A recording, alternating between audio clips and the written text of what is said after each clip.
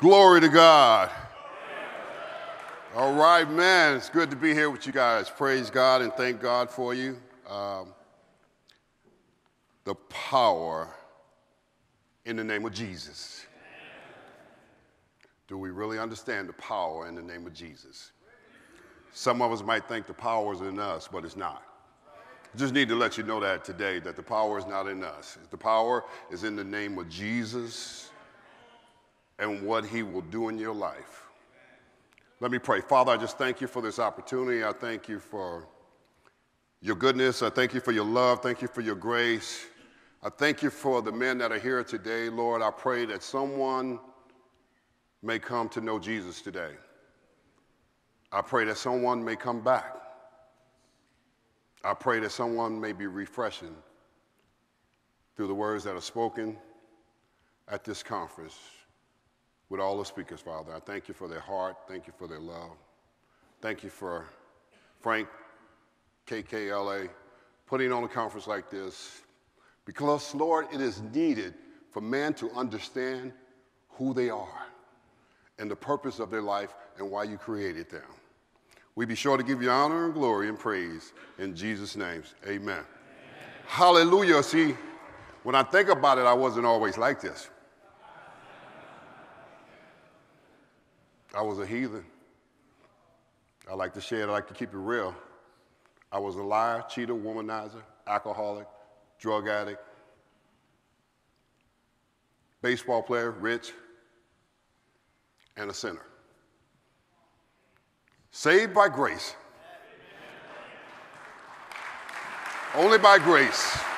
Only by His grace. Only by His grace and His love and and I don't deserve it.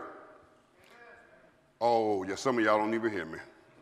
I don't deserve it, but He gives it to you anyway. When you can understand you don't deserve it and He gives it to you, then you can understand the creation of you and why God created you. You know, because God created us for more than just titles, positions, what we do, and what we accomplish. And we need to know that in Christ. Because Jesus, Jesus was never concerned about me hitting home runs. Fans was and media was, but Jesus was never concerned about that. Jesus was concerned was all going to be well in my soul. And that's what he's concerned with you that are here, that's here today, is all well in your soul. Not about what I accomplished, not about who I am, but it's all well in my soul. See, because the enemy do not want you to know who you are. Who you are in Christ.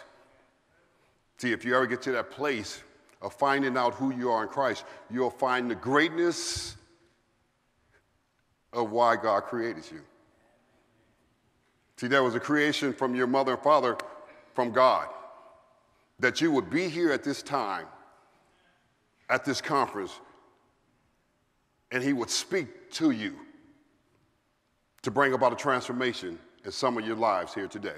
Some of you need a transformation by God. And that's the greatest gift I ever received was the transformation by God. See, you better see you you you better off you better off in your life right now. You better off just to go ahead and obey God. See, I didn't obey God. How many of us have been like that? Where I just don't obey God. You better off to go ahead and obey God instead of uh, having God bring you to your knees because He will. And the reason He does that is because He loves us. He has no other reason to bring us to our knees if He didn't love us. He loves us right where we're at, right in the midst of all the brokenness, right in the midst of all the confusion. Some are here today.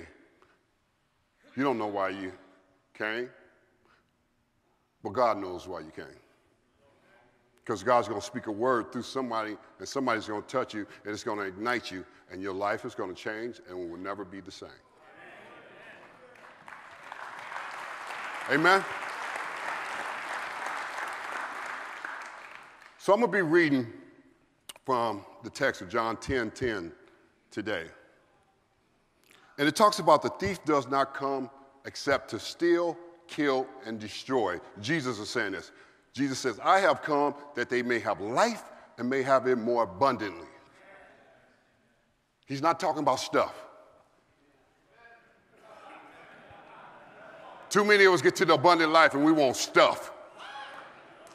He's talking about his love. He's talking about his power. He's talking about wisdom. He's talking about knowledge. He's talking about all the things that is pertaining from this book, the book of life.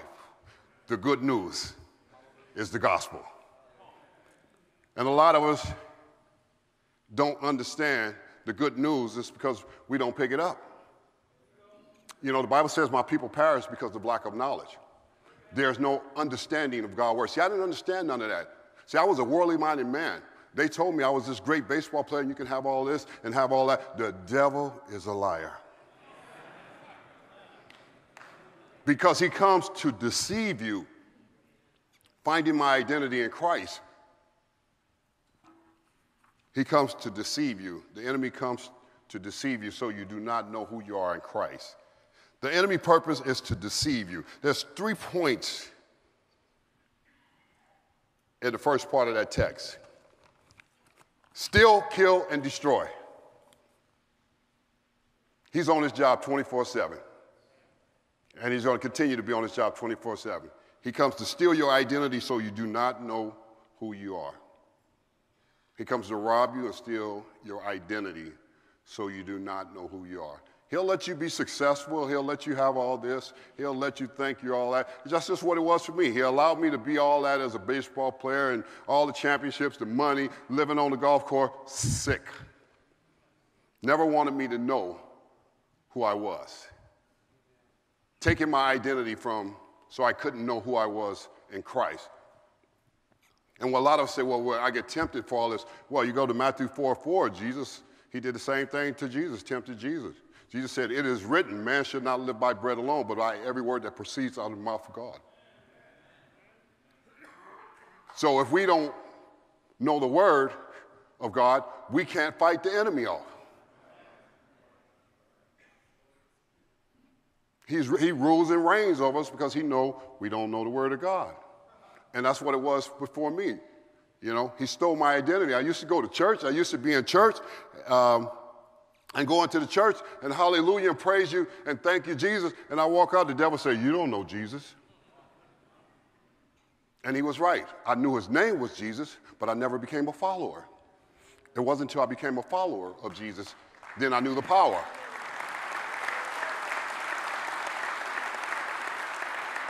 So he steals your identity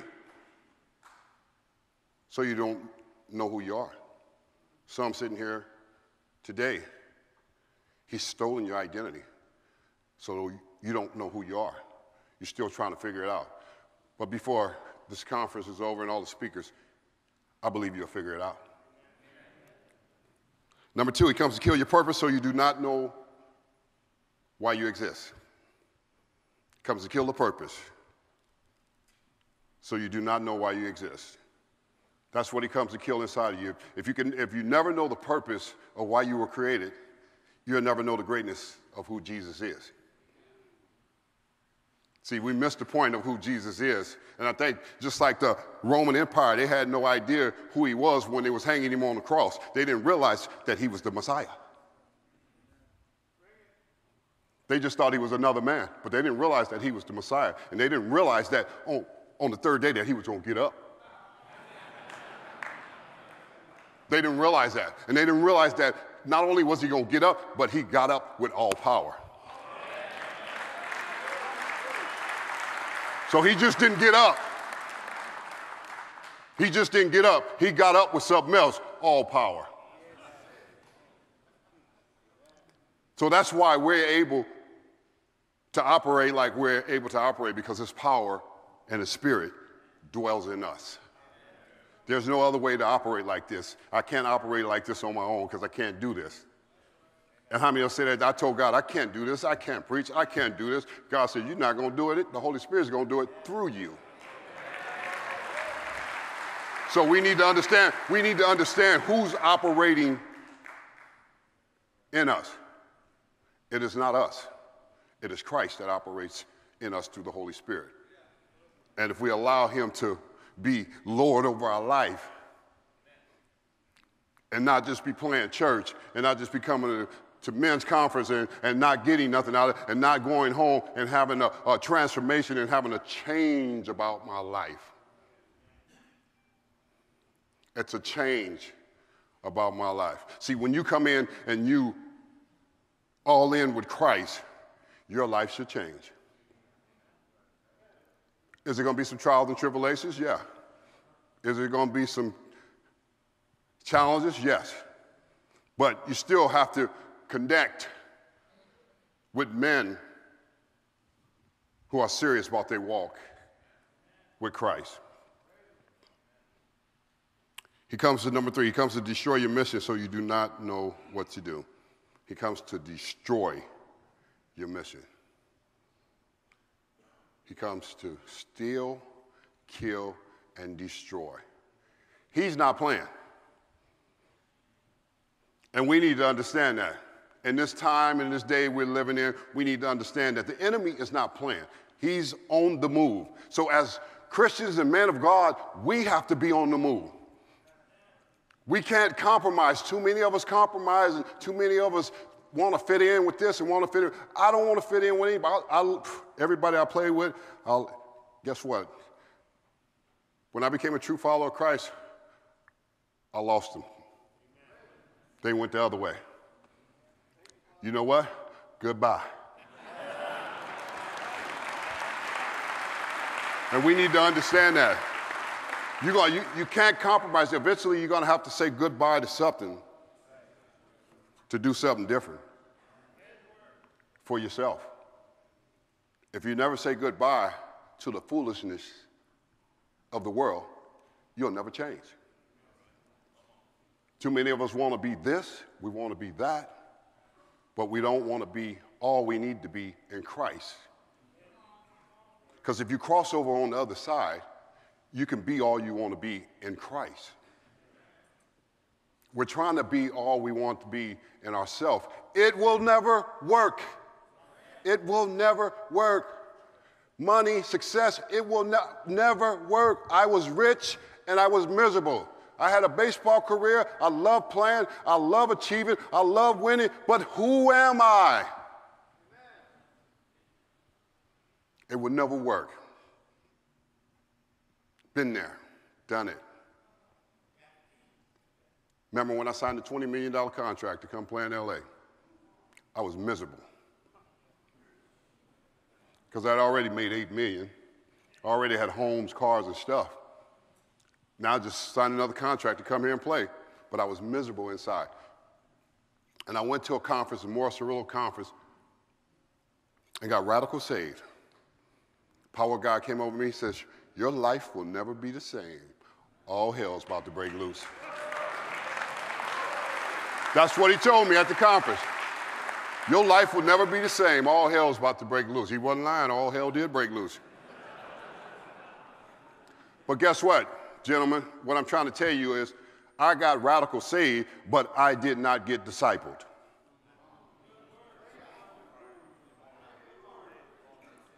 Too many of us missed the discipleship of coming to know Christ and coming to follow the commandments of God.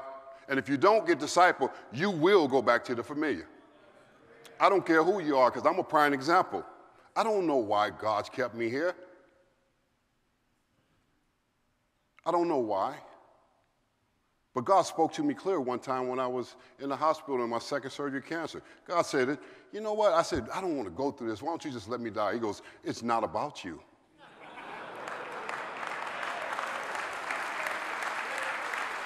I mean, I know, I mean, I know a lot of us, I know a lot of us think it's about us. I know we think we all that. And we're back at you, oh, I got it going on. You're not that important. When you get to understand who Jesus is, you'll realize who is really important. You'll get to, you get to understand, you get to, you get to truly understand why he kept you. He didn't keep you for you. He kept you so you can bring a message to help others, to show all the brokenness that goes inside of a person. Only Jesus can put it back together for you. Nobody else can put it back together. You can keep trying everything else. Hey, I tried, Bishop, hallelujah. I tried lawyers, I tried doctors. I paid for them all. I ended up with a T17169 in a Florida State prison. Eight time All Star, four time World Series champ. Ended up in Florida, Florida State prison because of addiction. God was doing for me what I couldn't do for myself. Some of y'all need to know God has done for you what you couldn't do for yourself. That's why you still here.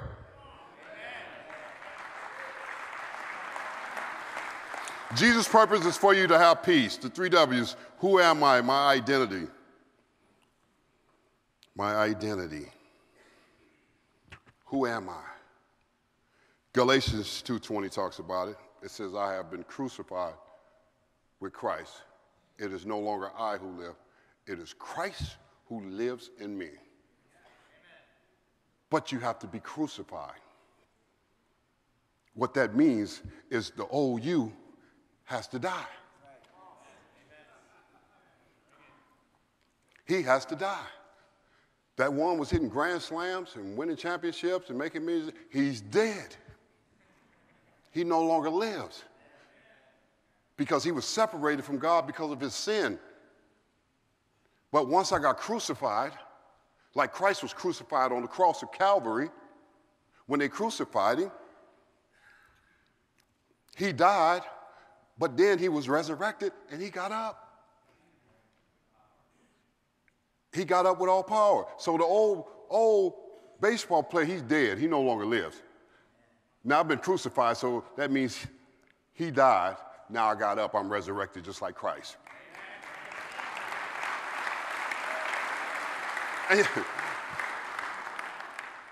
And, the thing about it is, with Christ, this is not going to cost you nothing. Like most of us, everything else to cost you. All going to cost you is for you to die so you can be resurrected. And He will empower you with wisdom, knowledge, and everything else through the Word. You know, not, not through me sitting there and looking at a television and trying to figure out what's going on in society and why is this and me back and forth with the television. That ain't my problem. That ain't my problem to worry about. My problem is to understand who Jesus is and know the Word of God for myself so I can live this abundant life. That's what it's all about. Amen. Number two, Jesus' purpose. Why do I exist? My purpose. My purpose. Romans 8 28 says, and we know, and we know all things work together for the good of them who love the Lord, to those who are called according to his purpose. He said, oh, hallelujah. he said, all things work together for the good of them. He didn't say some things, he said all things work together for the good. Too many of us don't even know all things work together for the good. We think some things are working, some things. No, all things work together for the good. But if you don't believe it, you can't receive it. You got to believe it. You got to believe it works together for the good. It doesn't matter what it is. It doesn't matter what I go through all things work together for the good. All things.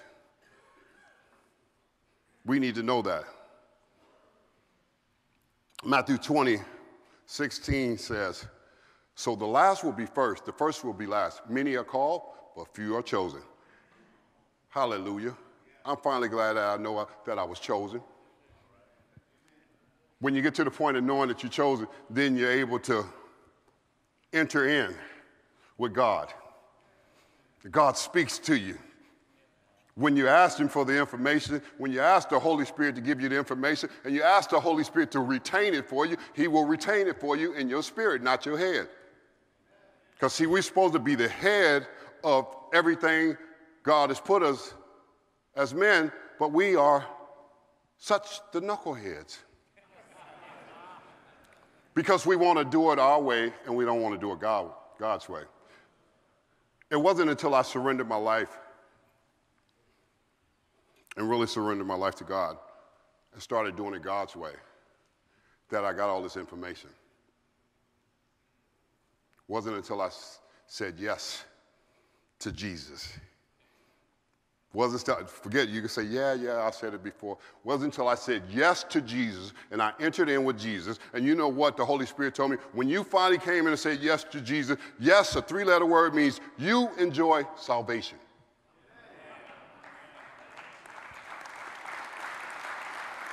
It says you get to enjoy salvation, not somebody else. You get to enjoy what this salvation is here. Aren't we so glad he is so merciful? He's a merciful God. He keeps, he has mercy. He gives you grace, grace that we don't even deserve. He, he continues to give it to you because he's saying, he was saying to me, come on, Darryl, I'm over here. I'm over here. I got something for you. I'm going to do something in you. You can't do it. Too many of us try to do it ourselves. You can't do it. You got to allow him to lead you, to do it for you. Number three, Jesus' purpose for you to have peace. What shall I do? What shall I do? I got to know my mission. We're all different. We all got a different call. You need to learn to stay in your own lane. Don't try to be like nobody else. Be like who God created you to be. Too many of us want to be like somebody else. We see somebody else preaching, we see somebody else on television, we want to be like them. See, when I played baseball, I didn't want to be like nobody but me. And God said that to me, Pastor Steve, you got you to be the same way when I call you. You got to be you. And that's what we have to do. We have to know our mission. But we don't know our mission if we're not us and we don't have the right identity. We won't know our mission. Jesus said in John 14, 6, I am the way, the truth, and the life. No one comes to the Father except through me. See, we're trying to get to God, and we don't even we don't even go through Jesus. We don't even know who Jesus is. God, please help me. We got to know the power and the resurrection of Jesus Christ. We got to know the 2,000 years ago when he walked the earth. He's the same today that he was 2,000 years ago. He's the same God. He's the same Lord. And he's trying to lead us and show us who we are in Christ. But we have to be able to accept that. A lot of times we won't accept it. We accept, you know, I remember a lot of times, you know, I wanted bits and pieces of God. I want a piece of God here, but I also want to hang out in the world here. It don't work like that. You're going to have to get all the way in with God. You're going to have to submit yourself to God. You're going to have to surrender. You're going to have to give up some things. Some things that's keeping you sick, some things that's keeping you in bondage. You're going to have to give those up. See, I've been, I, see, I'm free today. I've been liberated. I've been redeemed by the blood of the Lamb. It's been set free, separated, set apart. Um, and so it's nothing, it's nothing, it's nothing that I could do. And see, it's the blood. It's the blood that has cleansed me and purified me and washed me. It's his blood. One man brought sin in, one man brought grace in. Adam brought sin in, Jesus brought grace in.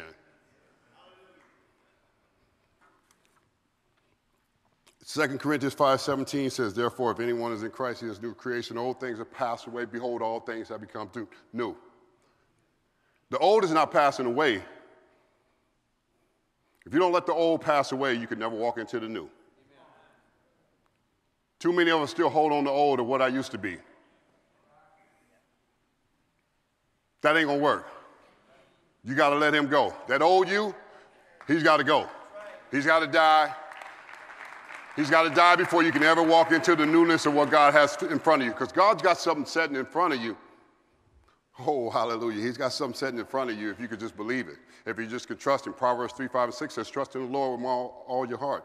Lean not on your own understanding. In all your ways, acknowledge him, and he shall direct your path. But you got to trust in him. You got to trust in the Lord with all your heart and believe it. James 4 7 says, Therefore, submit yourself to God, resist the devil, and he will flee from you. Resist the enemy over your life, those situations that you deal with. Resist, and he will flee. See, you got to beat the enemy up with the word. Because this is the word that Jesus used on him. And when you understand the power and the greatness of Jesus and what he's already done on Calvary, and he says, when he was hanging on the cross, he said, Father, forgive them, they know not what they do. Father, Father, why have you forsaken me? And his last words, it is finished. It's done. It's complete. I'm able to walk in the greatness of who he is because he's already completed, because he was wounded for my transgressions. He was bruised for my iniquity. By his stripes, by his stripes, I am healed. It's by his stripes. It's not by anything else. It's by his stripes that I'm healed. It's by his stripes that you're healed. It's by his stripes. Hebrews 13, 8 says, Jesus Christ is the same yesterday, today, and forever. He's the same. What happened to me? See, Jesus Christ is the same. What happened to me, I changed.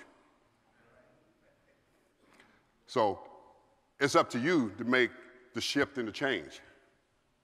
It's up to you to make the commitment to God and allow Him to lead you down the road that He has for you, the great place that He has for you.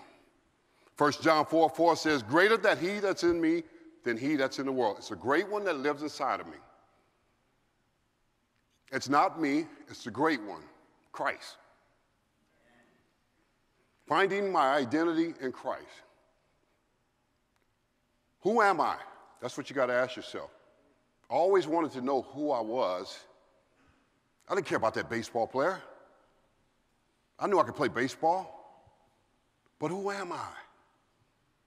It wasn't until I found my identity in Christ and I realized why I was created and the purpose of my life.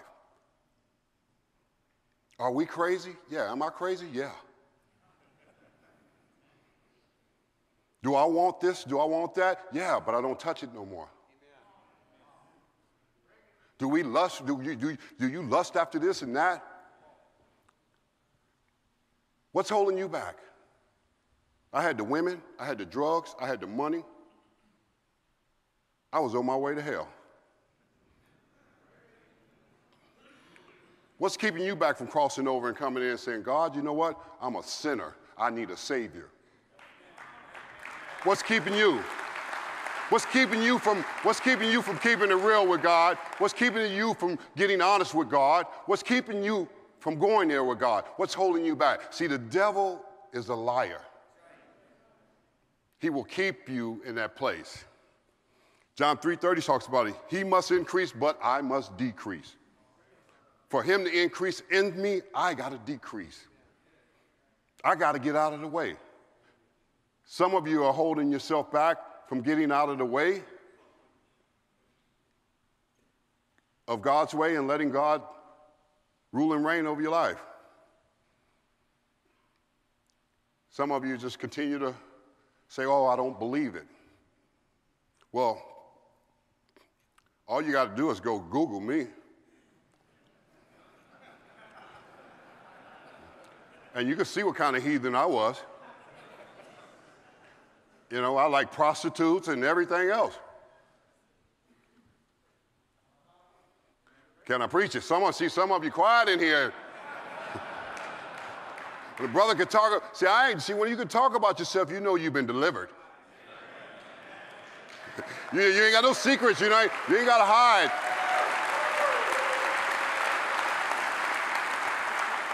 You don't, you don't have to hide. I don't, I don't have to hide in computers and look at this and look at that to uh, give me this extra thrill inside of myself. Or I don't have to go down on the corner somewhere and look for a hooker,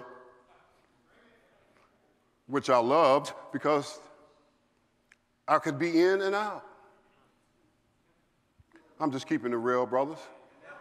You know, because I want somebody to get free today. I want somebody to be delivered today and set free from their bondage and their chains that's keeping them.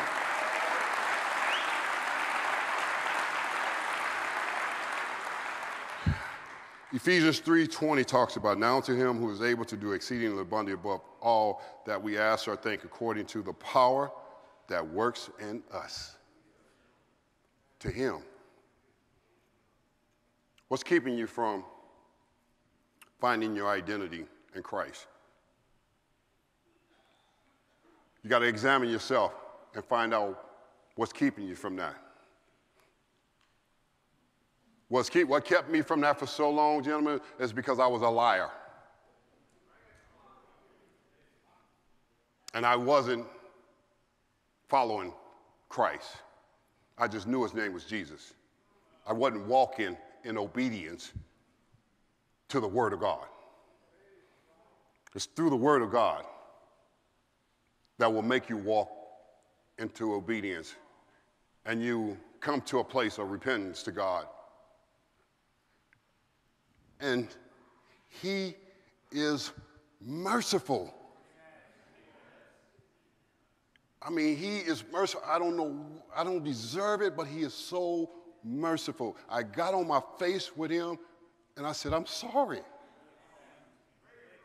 And I repent to him. And he sets you free. He delivers you and he sets you free and he brings you into order. And you're able to walk into the greatness of why He created you. So challenge yourself today to go deeper. Challenge yourself to get beside yourself and ask God to help you. And He will help you. Let me pray. Father, just thank you for your word. I thank you for your love for these men, Father. Father, I pray that someone's here today needs a transformation. I pray that someone needs a new start, that would, they would come back. I pray for a refreshing over those that need a refreshing, that the Holy Spirit would dwell among their hearts and challenge them and also convict them to come about change.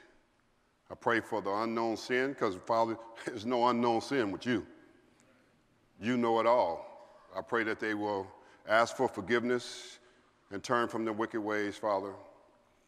And Lord, I just pray that you just allow them to be strengthened to, today and encouraged, Father. We honor you, we praise you, and we love you. In Jesus' name, amen.